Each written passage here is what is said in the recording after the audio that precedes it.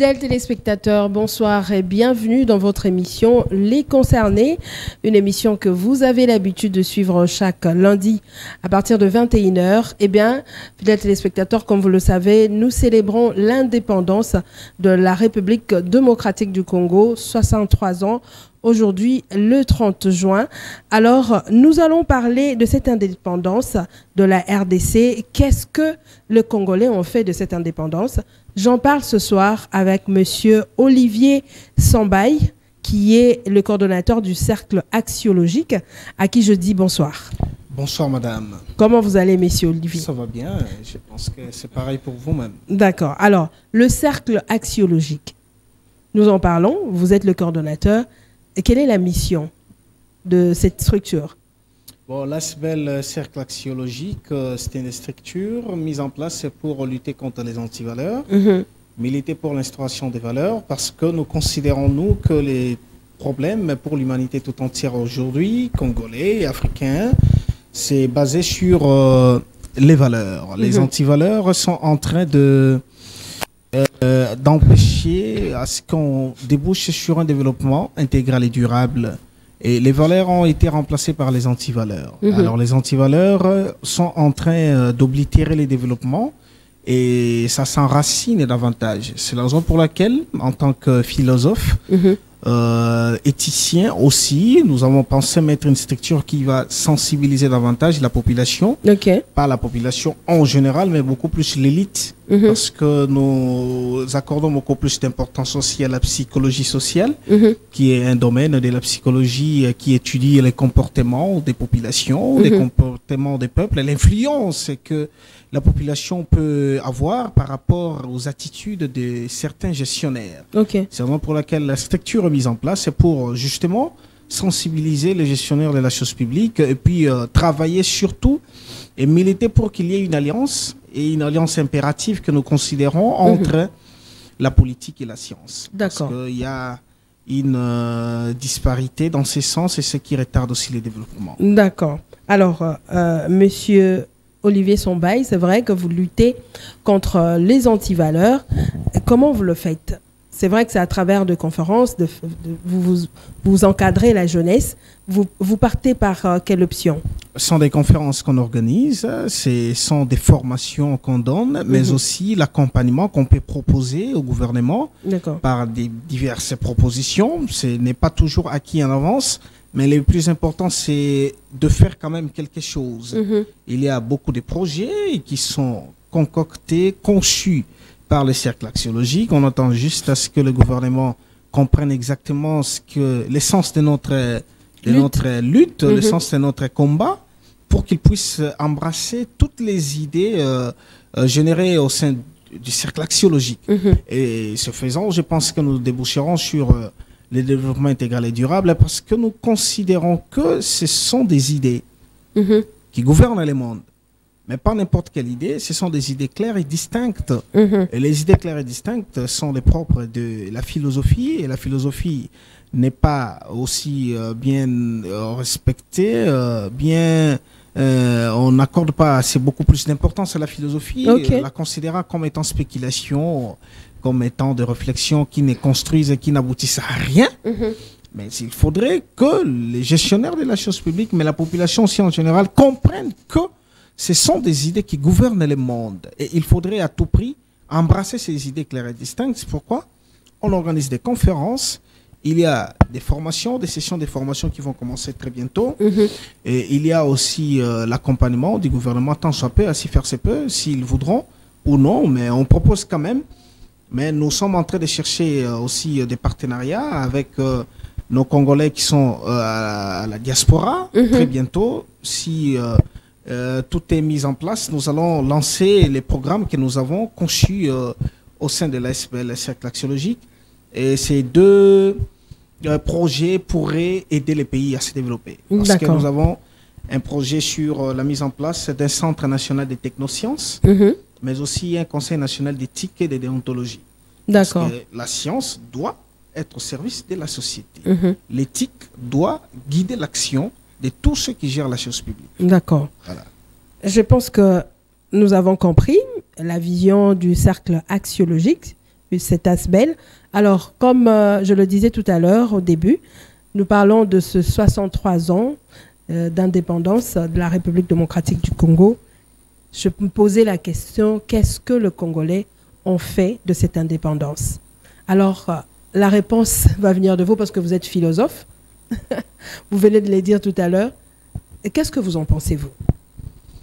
Euh, le Congo est indépendant depuis 1960. Mhm. Nous sommes en 2023. Ça fait 63 ans exactement qu'on est indépendant. Mais qu'avons-nous fait de cette indépendance? Mhm. C'est la grande question que l'on peut se poser.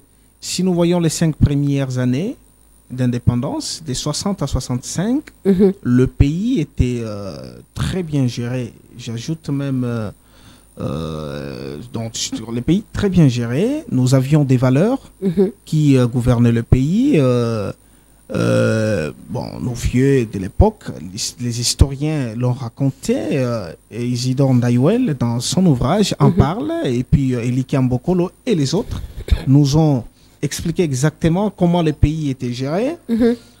En évoluant au fil du temps, dès qu'on atteint l'année 1900 70, euh, les pays a commencé à dégringoler. Lorsqu'on a mal compris les choses, lorsqu'on a mal interprété la réalité, on a zaïrianisé. La zaïrianisation a fait en sorte que les Congolais qui n'étaient pas préparés scientifiquement, intellectuellement, ont euh, reçu la gestion, ont eu mhm. la gestion des grandes sociétés en main et ne sachant pas exactement euh, Quoi faire avec euh, ne sa- sa- sachant pas exactement les bases managériales, Mhm. ça fait en sorte que le pays a commencé à dégringoler du point de vue économique.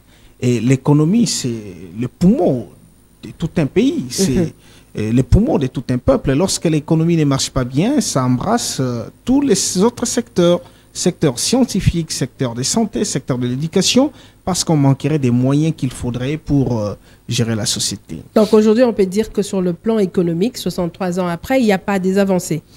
Bon, il n'y a pas des avancées dans beaucoup de choses. Nous pensons, nous, prenons par- nous pouvons parler d'abord du point de vue économique. Mhm. Euh, normalement, en 63 ans, nous ne devrions pas avoir une économie extravertie. L'économie est basée sur la production Mhm. des richesses. Mais on ne produit pas en République démocratique du Congo. Euh, Tout du- vient d'ailleurs. Euh, tout vient d'ailleurs. On importe presque tout. Mhm. On ne produit pas. Ce qui est étonnant, 63 ans après, on importe même le maïs. Ah, ah, il faut aller le 63 chercher en. Zambie. Après, on importe le riz. 63 ans après, même l'huile végétale, on importe. 63 ans après, nous avons même l'aiguille. On importe. Ce n'est pas concevable. 63 ans. Donc, du point de vue économique, le pays n'a pas évolué. 5 ans après l'indépendance, 63 ans après, des 58 ans, nous avons reculé. Parce que euh, le pays était euh, premier producteur, par exemple, de l'huile de de Mhm. de palme pendant beaucoup d'années.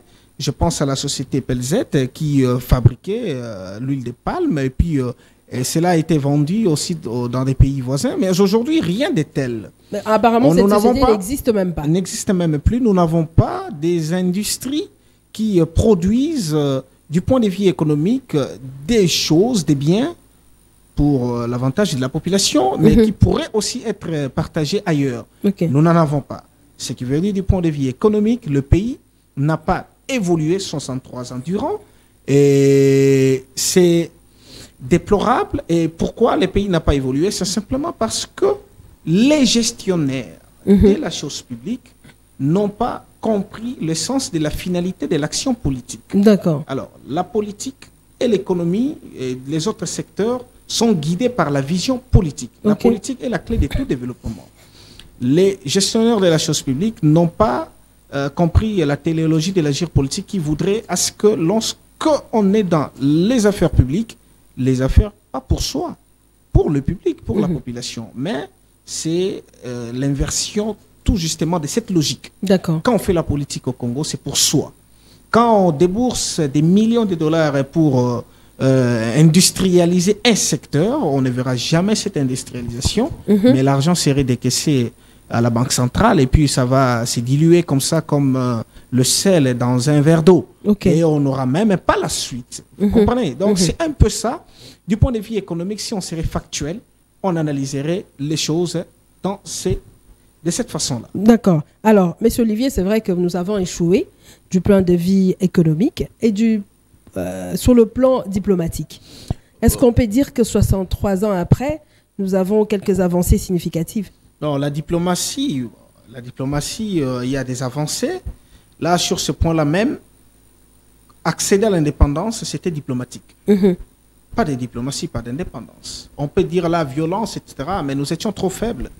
On aurait pu nous assiéger, on n'aurait rien fait. C'était la diplomatie réussie de Lumumba et les autres. Mhm. Kassavoubou, voilà, la diplomatie avait bien fonctionné, c'est pourquoi on a accédé à l'indépendance.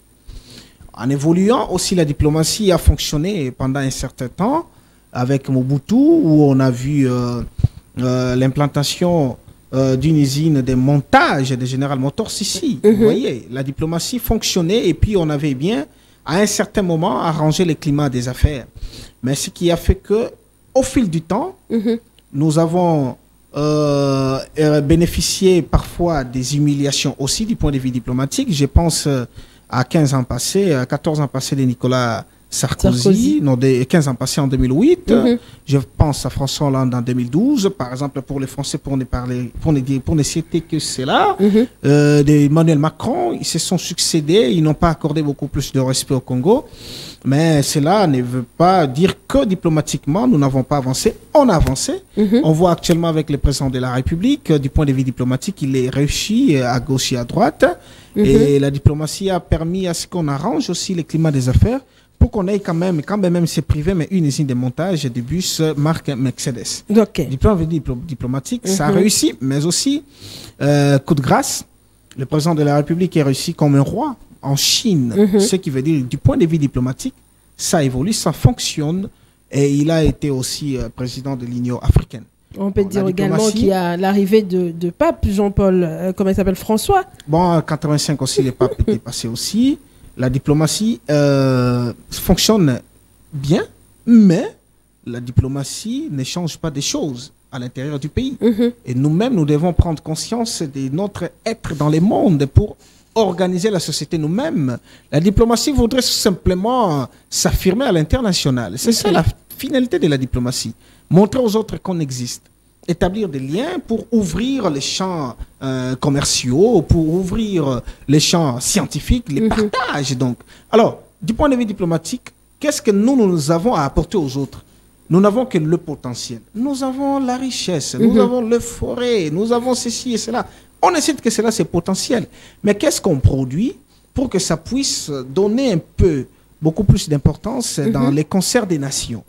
Parce que la diplomatie, c'est aussi rapport des forces. Je vous apporte ceci, vous également, cela. nous apportons ceci. Alors, nous, nous apportons quoi? Nous avons une diplomatie qui est. Vous voyez, euh, on vient demander ceci. Est-ce que vous pouvez nous aider en cela?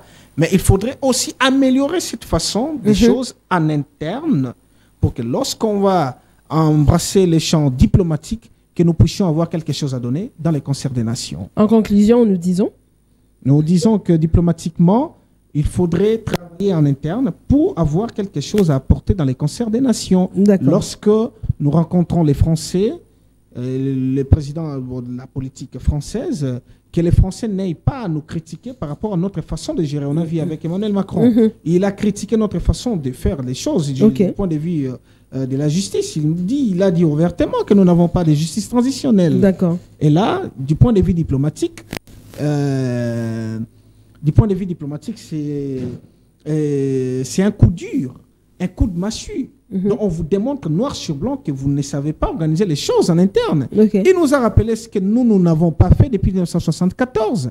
Et du point de vue diplomatique, c'est un coup, un coup de massue encore qu'on a reçu. Mais quand on analyse de près, il n'a pas tort, il a aussi raison. Mhm. Il aurait fallu qu'un Camerounais, Charles Onana, fasse des investigations en Mhm. tant que scientifique de façon délibérée pour nous produire un ouvrage Holocauste au Congo. Voilà. L'omerta de la communauté internationale. Alors Mais que ça devrait de venir d'un maison. même la récupération de Mhm. cette question Est-ce que, même du point de vue des médias, quels sont ces médias qui ont récupéré cette affaire pour en parler? Et moi, j'ai fait de mon mieux pour avoir cet ouvrage, parce que j'ai en moi les vertus républicaines, les valeurs républicaines, les valeurs Mhm. démocratiques. Une publication comme telle, je devais en principe en bénéficier.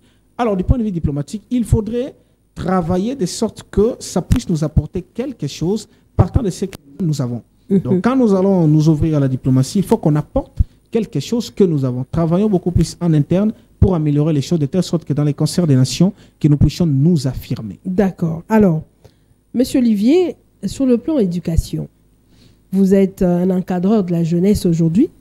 Qu'est-ce que vous en pensez Trois- 63 ans après?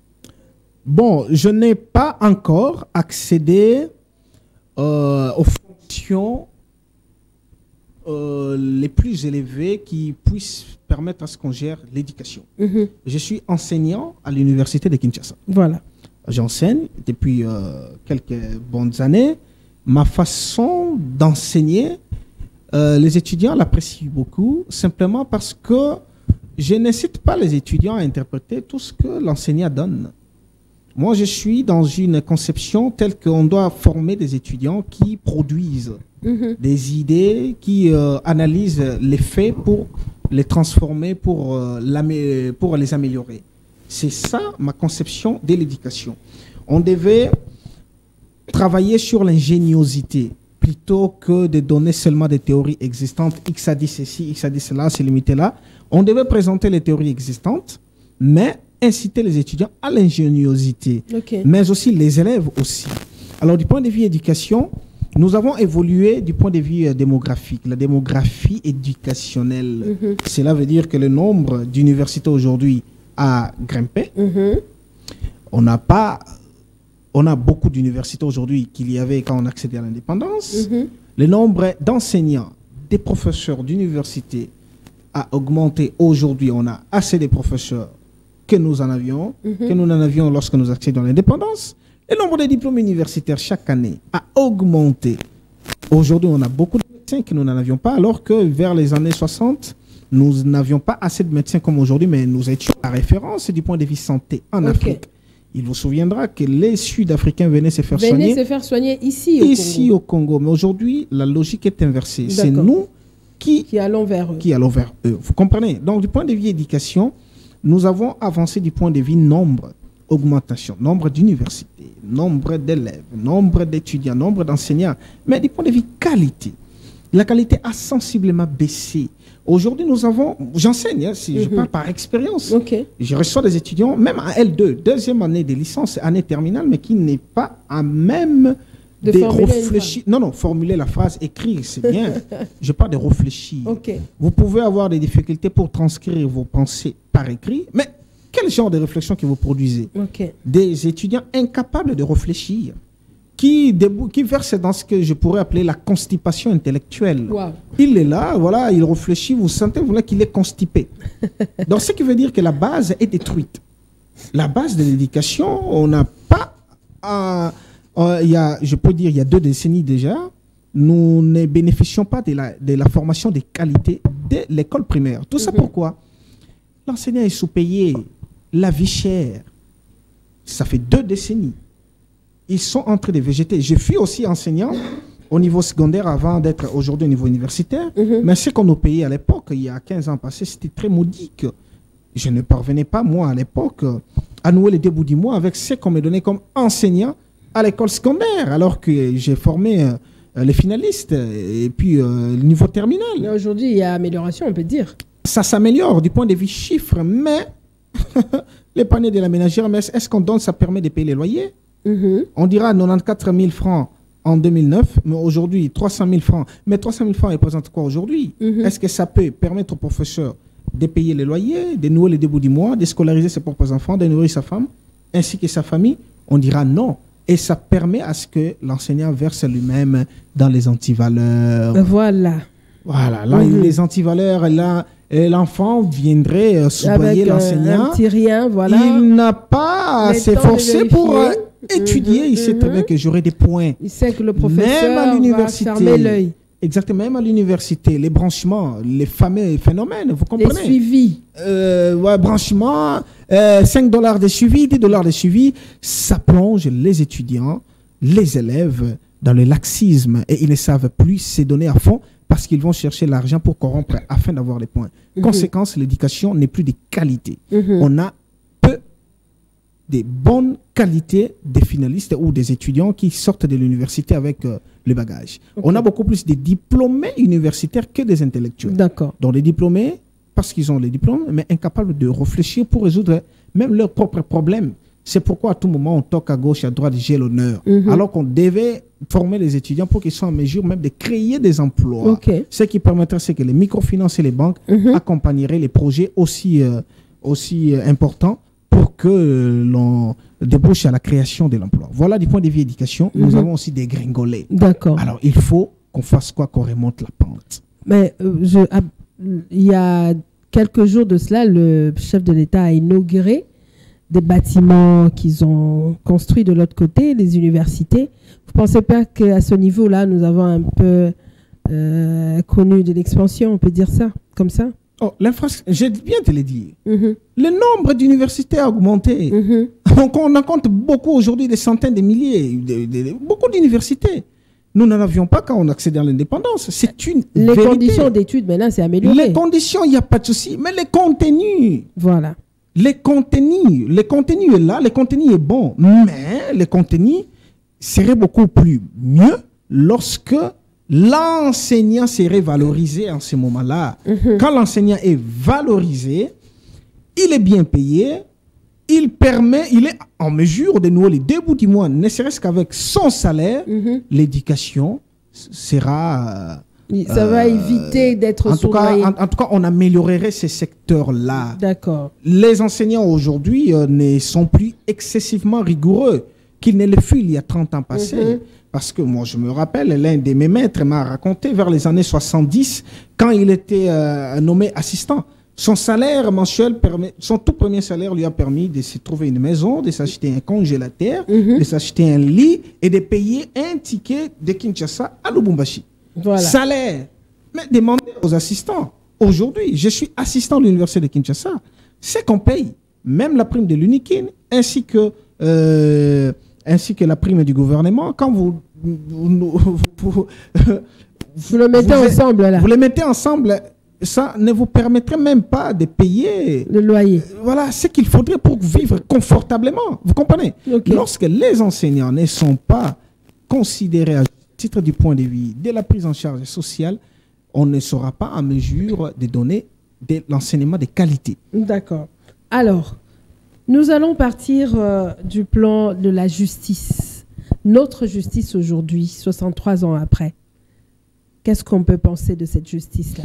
63 ans après, nous sommes indépendants, mais la justice, ça reste, laisse, reste aussi. euh, euh, bon, vous comprendrez que sur beaucoup de plans, nous n'avons pas avancé 63 ans après, mais nous avons beaucoup plus reculé. Mhm. La justice, aujourd'hui, euh, est en train de perdre euh, sa saveur. Je dirais ça euh, par métaphore, est en train de perdre sa saveur. La justice, aujourd'hui, c'est une justice à double vitesse. La justice, aujourd'hui, on est toujours, on, re- on revient encore sur la loi du plus fort. La justice, aujourd'hui, c'est une justice où euh, euh, l'acteur politique a un mot à dire. Nous ne vivons pas ce que Montesquieu a appelé la séparation de pouvoir, où vous avez vraiment un pouvoir judiciaire, Mhm. un pouvoir exécutif. Mais aujourd'hui, la justice reçoit l'injonction, les injonctions de qui? De la politique. Là, c'est de- un des deux. On revient encore sur le plan, euh, euh, sur le plan de la prise en charge, Mhm. sur le plan des prises en charge des, des acteurs de l'appareil euh, Judiciaire. judiciaire. Mhm. Ils ne sont pas aussi bien rémunérés qu'ils devaient l'être pour être en mesure de rendre la justice de façon équitable. Mhm. Nous n'avons pas recouru aux notions de la justice comme équité au Congo. Nous Mhm. n'avons pas assez, euh, assez des moyens qu'il faut pour euh, rendre la justice de façon équitable.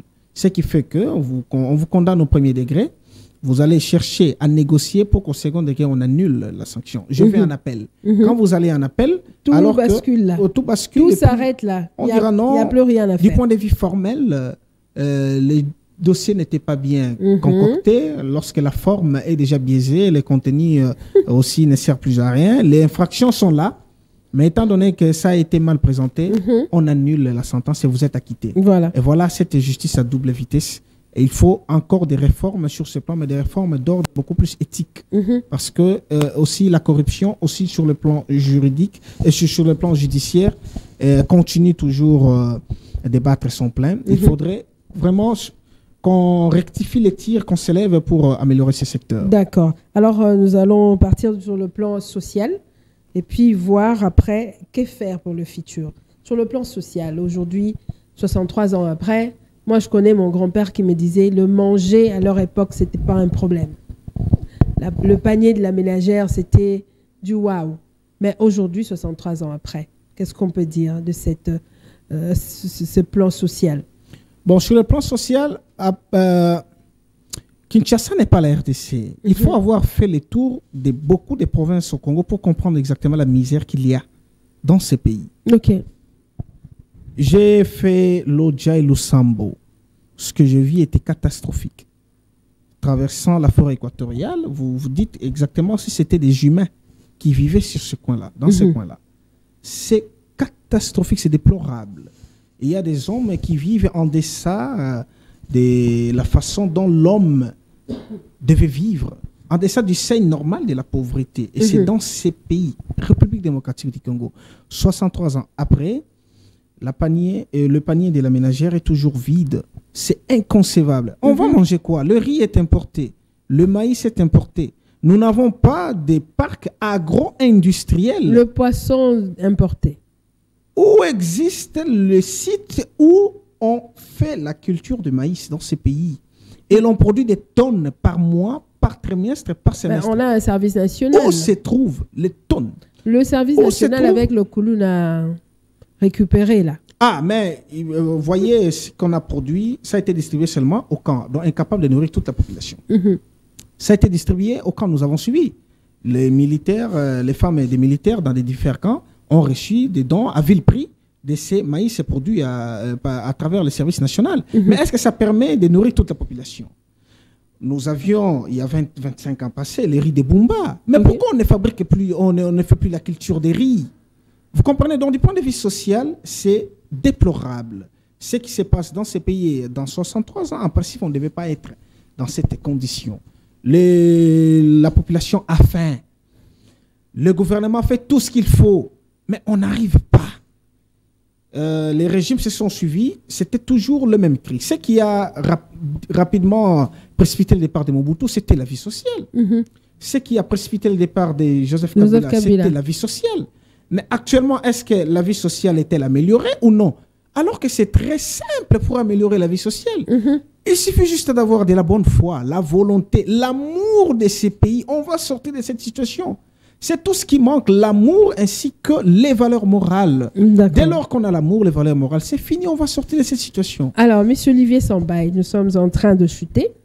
Quelle solution, après trois- 63 ans, quelle stratégie mettre en place pour euh, avoir un futur meilleur Après 63 ans d'indépendance, on vient de présenter les, les bilans de façon succincte. Mais ce qu'il faudrait faire, c'est premièrement, il faut la prise de conscience de notre être dans le monde. Nous Mhm. sommes Congolais. Le pays nous est donné. C'est un don béni des dieux, comme on le dit dans l'hymne national. Don béni des Des dieux.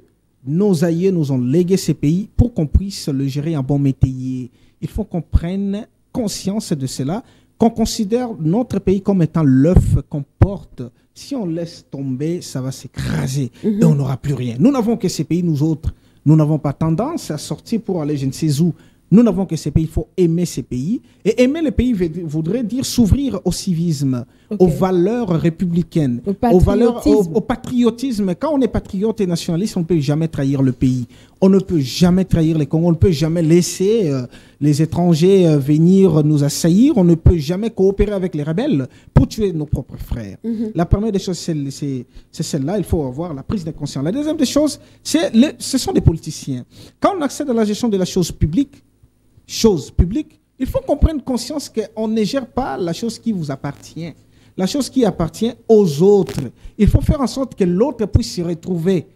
Alors, quand vous gérez la chose publique, vous devriez faire en sorte que la population soit le plus satisfaite. Un acteur politique qui est dans les affaires publiques, qui ne sait pas satisfaire la population, il n'a pas sa place dans l'arène euh, politique. Alors, il faudrait aussi du point de vue euh, justice, qu'on recourt à ce que Thomas Hobbes dit, euh, le Léviathan, la force politique devrait bien organiser les choses de telle sorte que les judiciaires, qui ne peuvent pas se doter soi-même aussi des moyens, c'est la collaboration dans la séparation des pouvoirs, certes, mais c'est la collaboration qu'on donne à la justice des moyens qu'il faut pour rendre la justice équitable. La justice comme équité, c'est-à-dire, vous êtes qui que vous soyez, ne soyez pas au-dessus de la loi. Fort malheureusement au Congo actuellement, 63 ans après l'indépendance, nous avons on des individus qui sont au-dessus de la loi au-dessus de la loi. Donc, parce que j'ai l'argent, parce que j'ai des moyens, je peux marcher sur des Congolais, personne ne va m'arrêter. Il faut que cela s'arrête. Il faut que nous ayons une justice totalement indépendante. Il faut qu'on ait une justice qui sait rendre des choses de façon équitable. Voleurs en prison, détourneurs des fonds publics en prison, et cela fera en sorte que nous allons sortir de ces situations. Aussi, aussi pour rectifier les choses de façon globale de façon globale. Je pense, moi, avec mon SBL, je suis en train de mettre cela en place. Euh, si le gouvernement va accepter, nous pourrions peut-être marcher ensemble pour euh, rectifier les choses. Il faut que nous puissions avoir une sorte de la NASA à la congolaise. Vous savez ce qui fait la force du monde occidental, on admire. Ils ont mis en place un système de telle sorte que la science soit au service de la nation. Ok. Ce sont des savants, des scientifiques qui doivent développer le pays. Parce que la science, c'est la formalisation de la réalité. Quand la réalité est formalisée, on définit réellement comment les choses doivent fonctionner. C'est à partir de ce moment-là qu'on recourt à cette formalisation, les mettre en pratique pour développer. C'est pourquoi on admire les États-Unis, le Japon, on admire la Donc, France, il faut qu'on mette ce système ici en Il faut qu'on mette, qu'on mette en place cette structure-là. Et c'est ce que moi, je suis, j'ai conçu, mais je collabore certes avec euh, certains Congolais de la diaspora qui ont été chez Peugeot, qui ont été chez Renault. Nous travaillons ensemble, mais il faudrait qu'il y ait un appui politique. Dès lors que les politiques vont accepter cela, cela expliquerait noir sur blanc que la poli- les politiques ont pris conscience que le pays ne peut se développer qu'à travers la science. Centre national des technosciences. Là, nous aurons des Congolais qui se connaissent dans la fabrication des satellites. Mhm. Madame, 63 ans après, nous n'avons pas les satellites qui puissent nous produire On un même, réseau de télécommunications propre on n'a même pas de bateau. C'est inconcevable que nous n'ayons pas un réseau national de télécommunications. Alors que les satellites, on peut en fabriquer. Les Congolais sont là qui se connaissent. 63 ans après, nous n'avons pas cela. Et moi, je mets en place cette structure-là où les Congolais qui s'y connaissent, qui savent négocier avec des structures qui peuvent placer les satellites dans l'orbite, on va avoir des satellites de télécommunications, satellites de sécurité, satellites de circulation pour qu'on contrôle les choses. 63 ans après, madame, euh, on ne connaît pas le nombre exact de la population. On estime à 5 millions. Où sont les données démographiques? Ça n'existe pas. Donc le pays est à reconstruire des fonds en comble. Et il faudrait recourir aux savants, aux scientifiques, à travers la stratégie qui sera mise en place pour que nous puissions avoir des solutions scientifiques afin de développer les pays. En tout cas, Monsieur Olivier, que Dieu vous entende et que cette structure soit mise en place le plus vite que possible pour euh, trouver une solution. Alors, votre dernier mot, Monsieur Mon Olivier. dernier mot, c'est la prise de conscience collective des acteurs politiques. Simplement.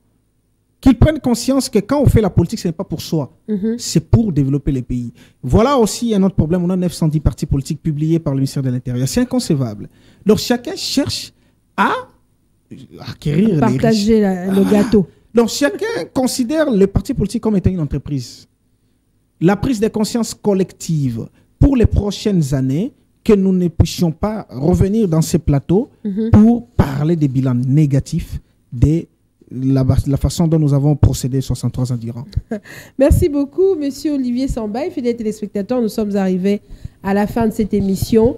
Eh bien, j'aurais su pour vous Monsieur Olivier Sambaï, qui est le coordonnateur de l'ASBEL Cercle Axiologique. Vous l'avez écouté, il a fait le bilan 63 ans après. Qu'est-ce qui ne va pas en République démocratique du Congo et quel serait le futur aujourd'hui? Il a dit il faut mettre une structure en place. La structure, vous l'avez suivie. Alors, fidèles téléspectateurs, merci à vous qui nous suivez de partout. Merci à mon équipe technique. Papa Freddy, merci à toi. Euh, Lazik Makoukoula, merci à toi. Papa Philémon, je vois Obed, je vois... euh, qui, comment il s'appelle encore? Je te vois. On se retrouve, fidèles téléspectateurs, très prochainement à travers un autre numéro. D'ici là, portez-vous bien et bye bye.